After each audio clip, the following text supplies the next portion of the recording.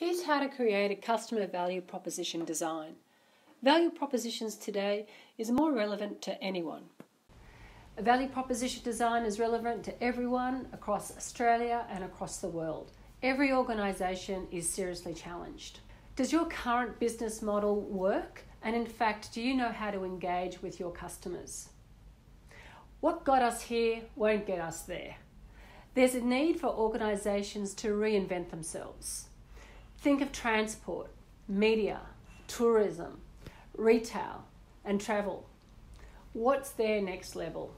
Now, more so, we've seen a power shift from the organisation to the customer. We all want products, services, and experiences on our terms where we want them, how we want them, when we want them. And if organisations can't do this, we'll go somewhere else. It's all about shaping and delivering value from our perspective. What do we do? It's about strategy from the outside. How do we put ourselves into our customers' world? What are their stories? What are their experiences? What are their conversations? And what are the emotions they're feeling? What's important to them? We need to be curious about our shift and thinking from an inside organisation to an outside customer's perspective.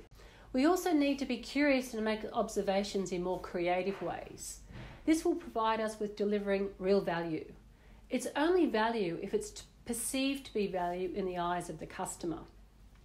What we need to do, we need to understand our customers, define who our customers are, and understand their drivers, their barriers, their motivations, and their challenges. Then we develop the value proposition. Remember, you're not your customer.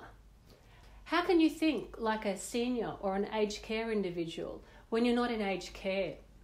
How can you think like Generation Y when you're not? Or a first home buyer? If you think you know the issues of your customer, you are wrong. Don't make assumptions.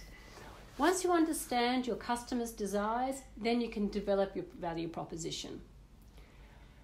You want to develop a meaningful value proposition that's relevant and another one that's meaningful for post COVID 19. Creative thinking is pushing your imagination, it's about pushing yourself to break out of the current frameworks. Creative techniques help us to unbuckle structure and allow more time to foster and explore our imagination.